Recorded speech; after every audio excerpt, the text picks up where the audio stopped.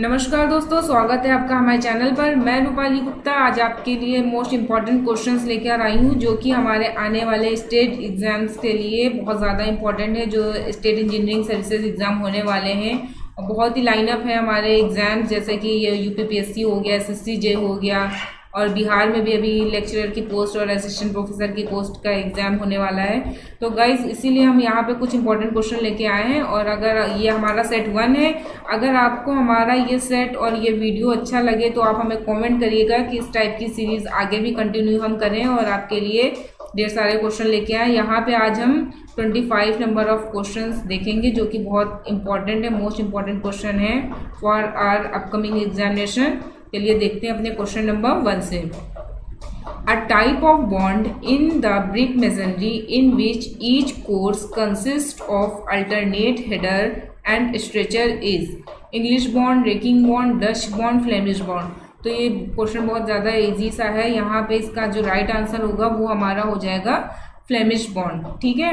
यहाँ जब भी आप देखिए, यहाँ पे ईच कोर्स लिखा हुआ है ईच कोर्स एक ही कोर्स एक कोर्स क्या कर रहा है? Consist of alternate header and stretcher ठीक है? एक कोर्स में आपका क्या हो रहा है? एक ही कोर्स में अल्टरनेट हेडर है पहले, फिर स्ट्रेचर फिर हेडर फिर स्ट्रेचर फिर हेडर तो ये हमारा क्या हो जाएगा? इस तरीके से होता है। ये एच हेडर और ये स्ट्रेचर हेडर स्ट्रेचर और हेडर तो इसको हम क्या बोलेंगे? फ्लेमिश बॉन्ड और अगर यहीं पे आप इंग्लिश बॉन्ड की बात करें तो इंग्लिश बॉन्ड में क्या होता है? अल्टरनेट हेडर हेडर और स्ट्रेचर होता है. ये एक हमारा हेडर हेडर हो गया, फिर स्ट्रेचर हो गया. तो इस तरीके से जो बनेगा, वो हमारा हो जाएगा इंग्लिश बॉन्ड तो here right answer will be D next question देखते हैं. Queens in brick masonry are ये क्या होता है हमारा? Brick cut a corner in a triangular fashion ये नहीं होगा। ये ये जो होता है किंग क्लोजर आप लोगों ने देखा होगा तो उसमें क्या करते हैं, जो हमारी ब्रिक रहती है, इसको हम क्या करते हैं, इस पोर्शन से इस तरीके से कट कर देते हैं। तो ये हमारा हो जाता है king closer half brick with length same but with half तो ये भी हमारा नहीं होगा, ये हमारा क्विन क्लोजर में हो जाता है। क्विन जंक्शन ऑफ़ वॉल ये भी हमारा नहीं होता है। तो quoins in brick masonry are क्या होता है? कॉर्नर जंक्शन ऑफ़ वॉल तो here right answer will be D जो ये क्या होता है? कॉर्नर जो पोर्शन होता है वॉल का हमारा, जैसे ये हमारी कोई वॉल है तो इसका जो ये कॉर्नर पोर्शन होता है, इसको बोलते हैं। नेक्स्ट क्वेश्चन देखते हैं। If rise if R is the rise and G is going of stairs the empirical formula use to fix rise and going is two R plus G and it should be between देखिए, ये question जो है, इस तरीके का question आपको value इसमें याद रखनी है। तो जो ये two R plus G empirical formula लिखा हुआ है, ये दोनों सेंटीमीटर में होते हैं, यहाँ पे आर क्या हमारा राइस है और जी क्या है हमारा गोइंग ऑफ़ स्टेयर से तो इसका जो सम होता है, वो होता है हमारा सिक्सटी सेंटीमीटर ठीक है? तो जो यहाँ पे राइट आंसर हो जाएगा, वो हमारा हो जाएगा 550 फिफ्टी एम mm से लेके 650 फिफ्टी एम mm तो इसके बीच में ये वैल्यू लाई कर रही है right answer will be B next question देखते हैं. Maximum size of coarse aggregate used as base course in ground floor is तो यहाँ पे देखिए क्वेश्चन पढ़ने से आपको पता चल जाना चाहिए कि इसका आंसर क्या होगा। आप ज़्यादा ऑप्शन देख के टाइम वेस्ट ना ही करें। तो यहाँ डायरेक्ट सीधा क्वेश्चन है twelve M M twenty M M forty M M fifty M M तो राइट आंसर यहाँ क्या हो जाएगा? फोर्टी एम एम जो maximum size of coarse aggregate हम लोग लेते हैं किसी भी ग्राउंड फ्लोर के लिए फ्लोरिंग के लिए, वहाँ पे हम 40 एम mm का एग्रीगेट यूज़ करते हैं। नेक्स्ट क्वेश्चन देखते हैं। Flying shores are used to strengthen single wall two adjacent wall tall wall any of the above तो यहाँ देखिए फ्लाइंग शोर्स लिखा हुआ है। जो शोर्स होते हैं, ये टेम्परेरी स्ट्रक्चर्स बनाए जाते हैं किसी भी वॉल को सपोर्ट करने के लिए या टू इंटरमीडिएट टू बिल्डिंग्स को सपोर्ट करने के लिए। तो यहाँ पे पूछा गया फ्लाइंग शोर्स की बात की गई। शोर्स मेनली अभी आगे हम डिस्कस करते हैं कि कितने टाइप्स के होते हैं। तो यहाँ पे फ्लाइंग शोर्स की बात की गई है। तो ये क्या करता है, किसको स्ट्रेथन करने के लिए यूज़ करते हैं हम? टू एडजस्टेंट वॉल तो here right answer will be B next question देखते हैं। इसमें मेनली क्या रहता है, जैसे दो बिल्डिंग्स रहती हैं हमारी, ठीक है, दो स्ट्रक्चर्स हैं। इसके बीच में जो सपोर्ट के लिए हम जो स्ट्रक्चर बनाते हैं स्ट्रट और सब यूज़ करके तो उसको हम क्लिट और सब सपोर्ट करके पूरा स्ट्रक्चर लगाते हैं ओवर पुल करने के लिए इंटरमीडिएट स्ट्रक्चर उसको हम बोलते हैं flying shores next question when large openings are to be made in existing wall the type of temporary work use is देखिए, अभी मैंने बताया जो शोर्स होते हैं हमारे, वो क्या होता है, एक टाइप का टेम्परेरी स्ट्रक्चर बनाते हैं किसी भी चीज़ को सपोर्ट करने के लिए बिल्डिंग में, ठीक है? और वो तीन टाइप के होते हैं। पहला हमारा होता है रेकिंग जैसे कि यहाँ पे नाम लिखा हुआ है। सेकंड हो गया हमारा फ्लाइंग जो कि टू एडजेसेंट वॉल के बीच में बनाते हैं बिल्डिंग्स के बीच में बनाते हैं। और थर्ड हो गया हमारा डेड तो यहाँ पे क्या पूछा गया है? Large openings are to be made in existing wall जी, कोई भी वॉल है, उसके बीच में ये ओपनिंग जैसे हमें बनाना ये कोई वॉल है, उसके ओपनिंग टेम्परेरी ओपनिंग बनाएँगे, इसको हम क्या बोलते हैं? डेड शोर तो है right answer will be D और रेकिंग में क्या होता है? फ्लाइंग आप लोगों ने देख ही लिया। अभी प्रीवियस क्वेश्चन में रेकिंग में क्या करते हैं? जब भी जैसे कोई वॉल है हमारी, ये ठीक है फाउंडेशन है और इसको अगर हम इंक्लाइन पे सपोर्ट देके बनाते हैं तो ये जो स्ट्रक्चर बनाते हैं इंक्लाइन पे सपोर्ट देके उसको टेम्परेरी स्ट्रक्चर इसको हम बोलते हैं रेकिंग शोर्स जो कि 45 से 75 डिग्री एंगल पे बनाते हैं। नेक्स्ट क्वेश्चन देखते हैं। Water requirement per day per bed in a hospitals is अब यहाँ देखिए इन्वायरमेंट का क्वेश्चन आ गया।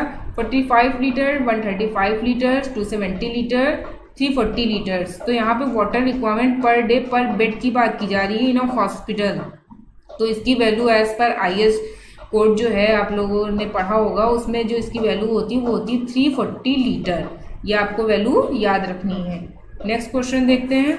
और गाइज़ आप कमेंट सेक्शन में हमें कमेंट करिएगा कि 135 लीटर क्या होता है, ये कि क्या चीज़ है हमारी, कौन सी डिमांड होती है, और 270 जो होती है, ये हमारी कौन सी डिमांड होती है। राइट नेक्स्ट क्वेश्चन देखते हैं. Which one of the following is not a type of trap use in plumbing तो देखिए टाइप ऑफ़ ट्रैप जो होता है P type S type Q type आप लोगों ने पढ़ा होगा. यहाँ पे एक ऑप्शन है जेड टाइप तो ये हमारा क्या हो जाएगा? राइट आंसर हो जाएगा जेड टाइप यहाँ पे पूछा गया नॉट ठीक है? इनमें से कौन सा नहीं है? प्लम्बिंग में जो यूज़ करते हैं तो जेड टाइप नहीं यूज़ करते हैं. नेक्स्ट क्वेश्चन देखते हैं.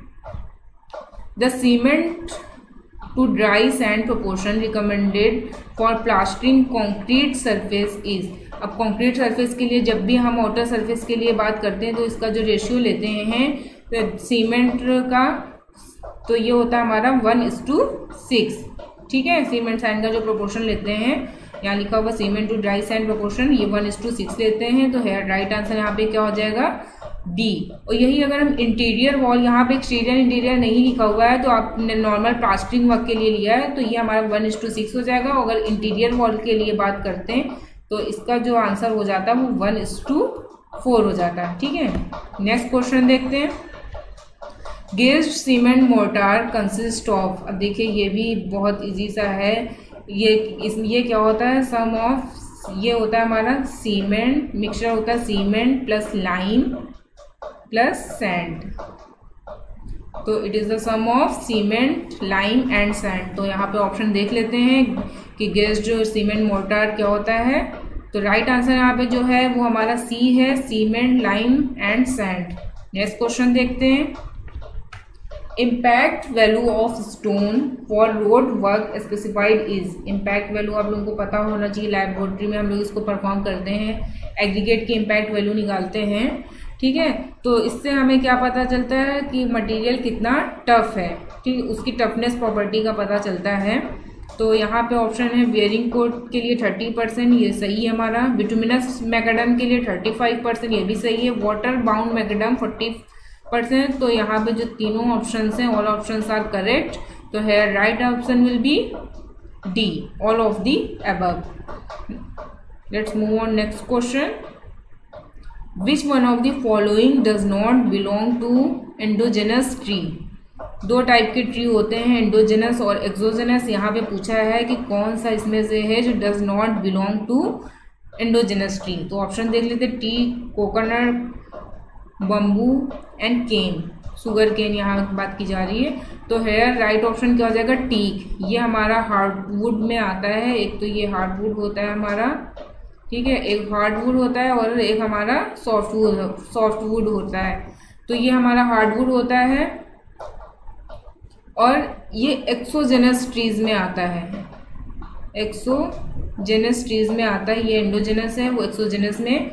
तो यहाँ पे क्या हो जाएगा राइट आंसर टीक और बाकी जो तीनों है, ये हमारे एंडोजेनस है, जो अंदर की तरफ़ ग्रो करते हैं। आप लोगों ने बम्बू देखा होगा कोकोनट का ट्री भी देखा होगा सुगर कैन भी, क्या अंदर की तरफ़ उसकी जो लकड़ी रहती है सॉफ्ट उसको सॉफ्ट वुड की कैटेगरी में ये सब आते हैं। नेक्स्ट क्वेश्चन देखते हैं।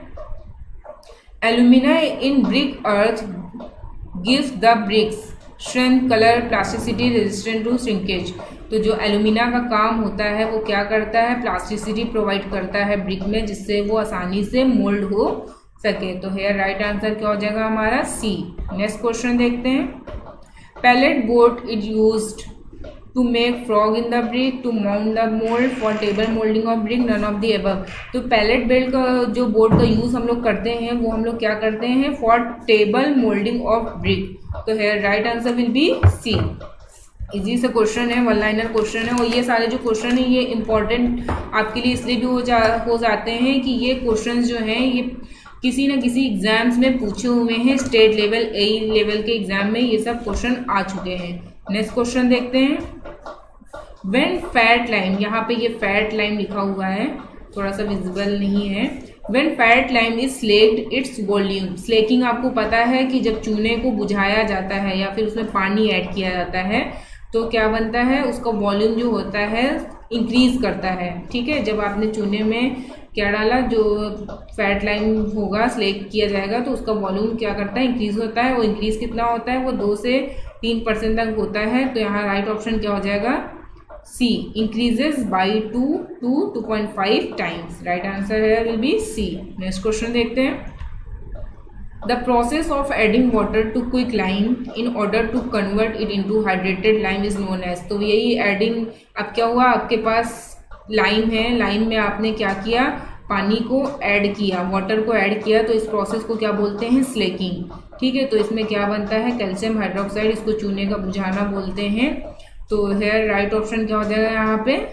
D slaking is known as slaking next question rotary kiln use in manufacturing cement rotates at a speed of यहाँ पर रोटरी किल की बात की जा रही है कि किस स्पीड पे रोटेट होती है। तो ये आप लोगों को पता होगा, जब सीमेंट की बर्निंग करते हैं तो हम रोटरी किल का यूज़ करते हैं और ये बहुत बड़ी किल होती है, जिसमें तीन कंपार्टमेंट होते हैं माइनर बर्निंग होती है मेजर बर्निंग होती है। और इतने हाई टेम्परेचर पे हम इसको बर्न करते हैं ऑलमोस्ट 1500 डिग्री सेल्सियस टेम्परेचर पे इसकी बर्निंग की जाती है। तो इसकी जो मैन्युफैक्चरिंग के लिए उस यहाँ पे जो इसकी लेंथ होती है रोटरी किलने की लेंथ की भी बात कर लेते हैं क्वेश्चन आ सकता है। तो इसकी जो लेंथ होती है, वो 100 मीटर तक वेरी करती है। और अगर इसकी डाया की बात करें तो इसकी डाया ऑलमोस्ट थ्री मीटर तक होती है। और इसके में ग्रेडियंट इसको हम ग्रेडियंट पे रखते हैं। जो इसमें ग्रेडियंट होता है, वो one is to twenty five होता है वर्टिकल इज़ टू हॉरिजॉन्टल और अगर यहाँ पर रेवोल्यूशन की बात की जा रही है कि कितना रोटेट करती है तो जिसमें इसमें रेवोल्यूशन होता है रेवोल्यूशन वो होता है हमारा थ्री राउंड पर मिनट तो हेयर आपको यहाँ ये जो स्पेसिफिकेशन है इसको देख के आपको यहाँ पे राइट आंसर पता चल गया होगा कि यहाँ पे राइट आंसर क्या हो जाएगा? ए वन आरपीएम से थ्री आरपीएम के बीच में ये वेरी करता है। तो right answer A next question move करते हैं. फाइननेस मॉडुलस इज़ अब फाइननेस मॉडुलस का आपको फॉर्मूला पता होगा तो आप डायरेक्ट उसको कर लेंगे. ये क्या होता है? The ratio of fine aggregate to coarse aggregate ये नहीं होता है. The ratio of fine aggregate to total aggregate ये भी नहीं होता है. And index which gives the mean size of the aggregate use in a mix तो ये हमारा फाइनेंस मॉडल जो होता है, ये हमारा राइट आंसर क्या हो जाएगा यहाँ पे C index which gives the mean size of the aggregate mean size को बताता है, पता चलता है इससे कि कितना फाइन है, क्या नहीं है। Use in a mix next question देखते हैं। चलिए नेक्स्ट क्वेश्चन देखते हैं। नेक्स्ट क्वेश्चन में यहाँ पे आपको लिस्ट वन में आपको पार्ट्स ऑफ़ एक्सोजेनस ट्री दिया है। लिस्ट टू में आपको उसके करेक्टर्स दिए हैं। तो पार्ट्स में आपको कैम्बियम लेयर पीथ हार्डवुड और सेपवुड दिया है। ये अगर आप टी ट्री का क्रॉस सेक्शन आपको पता होगा तो आप लोगों ने देखा होगा, यहाँ पे क्रॉस सेक्शन ड्रॉ कर दे रहे हैं। जिसका इनर पोर्शन होता है इनर पोर्शन ऑफ़ ट्री उसका, इसको क्या बोलते हैं? पीथ ठीक है, यहाँ पे हम क्रॉस सेक्शन ड्रॉ कर देना, आपको समझने में आसानी रहेगी थोड़ा सा ये हमारा क्रॉस सेक्शन हो गया। इस तरीके से इसमें मेडुलरी रेज रहती हैं। अब इसमें जो ये सेंटर पोर्शन पार्ट होता है, जिसको कोर होता है, इसको हम क्या बोलते हैं? पिथ ये जो लेयर्स होती हैं, ये हमारी मेडुलरी रेज रहती हैं। मेडुलरी रेज और ये एनुलर रिंग्स है, जिससे ट्री की एजिंग का पता लगाते हैं। ये हमारी क्या है? एनुलर रिंग्स है, जिनसे हम ट्री की एजिंग का पता लगाते हैं कि पेड़ कितना पुराना है। और यहाँ पे हम बात कर रहे हैं, ये हमारा पिथ हो गया। फिर उसके बाद हमारा पिथ के ऊपर की जो लेयर होती है जस्ट ऊपर की, इसको हम क्या बोलते हैं? ये हमारा होता है हार्डवुड यहाँ पे ऑप्शन में भी है, जो कि आपको मैच करना है। और हार्डवुड के ऊपर की जो लेयर होती है, उसको हम बोलते हैं सैपवुड अब ये जो हार्डवुड सराउंड रहता है, इसको हम क्या बोलते हैं? सैपवुड और सैपवुड के ऊपर की जो लेयर रहती है इसको क्या बोलते हैं हम? ये जो लेयर होगी हमारी, ये वाली, ये हमारी हो जाएगी कैम्बियम लेयर कैम्बियम लेयर और ये तो आपको पता है, जो छाल होती है, इसको हम बार्क बोलते हैं इनर बार्क और आउटर बार्क होता है। तो इस तरीके से ये ट्री का क्रॉस सेक्शन होता है। अब यहाँ पे ऑप्शन देख लेते हैं, उसका कैरेक्टर क्या है? जो कैम्बियम लेयर अब यहाँ पे कैम्बियम लेयर की बात की जा रही है। कैम्बियम लेयर क्या होती है? Thin layer of fresh sap तो यहाँ पे जो ए का हो जाएगा वो थ्री होगा thin layer of fresh sap क्योंकि अगर जो ये हमने जैसे बताया कि बाग के जो जस्ट नीचे की लेयर होती है, इसको हम क्या बोलते हैं? कैम्बियम लेयर जो ये जस्ट नीचे की लेयर आएगी, ये सब हमारी होती है कैम्बियम लेयर और इसी से ट्री जो है वो ग्रोथ करती है और उसके ऊपर वो बनता चला जाता है, उसका जो वो होता है स्टेम होता है, वो मोटा होता चला जाता है। नेक्स्ट है हमारा पिथ पिथ आपको जैसे मैंने बताया इनर मोस्ट पार्ट तो यहाँ पे ये जो बी का हो जाएगा, वो टू हो जाएगा. Three A three B two heartwood क्या होगा? अभी बताया पिथ के ऊपर जो सराउंड रहता है. तो यहाँ ऑप्शन देख ले यहाँ पे देख लेते हैं क्या होगा. ये हो जाएगा हमारा पोर्शन सराउंडिंग पिथ तो ये भी हमारा सही है. हार्डवुड क्या हो गया? फोर्थ अब हमें पता चल गया A three B two four हम ऐसे ही मैच कर सकते हैं. ए थ्री बी टू ये हमारा सी जो है बी जो आंसर है, वो हमारा यहाँ पे राइट आंसर होगा। और डी क्या है, ये भी देख लेते हैं। डी अभी जैसे मैंने बताया, जो कैम्बियम लेयर की जस्ट नीचे की लेयर होती है, उसको हम बोलते हैं सेववुड जिसको हम यंगेस्ट लेयर भी बोलते हैं। ठीक है, इसको यंगेस्ट लेयर के नाम से भी जानते हैं तो ये हमारा हो जाएगा वन। तो राइट आंसर है विल बी बी तो गाइज़ यहाँ जो मैंने हम लोगों ने कुछ इंपॉर्टेंट क्वेश्चंस लिए थे, उनका डिस्कशन कर लिया है। अगर आपको वीडियो अच्छा लगा हो तो प्लीज़ इसे लाइक शेयर सब्सक्राइब करिएगा। और हमें कमेंट करके बताइएगा कि अगर हम इस तरह की सीरीज़ आगे और कंटिन्यू करें। Thank you for watching this video thank you so much